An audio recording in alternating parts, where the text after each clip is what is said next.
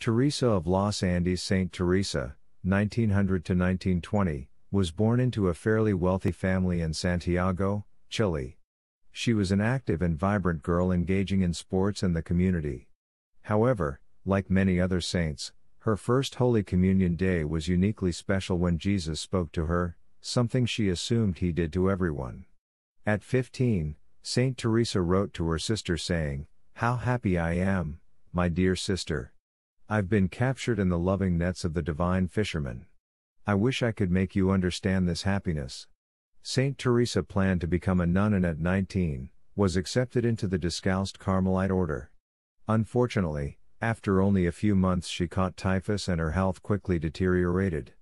She was allowed to complete her vows early and, following great suffering, she died a few months short of her 20th birthday. Saint Teresa's feast day is 12th April. She is the patron saint of illness, young people, Santiago and Los Andes. Pray for us that we will humbly accept our suffering as a manifestation of our love for Jesus. Glory be to the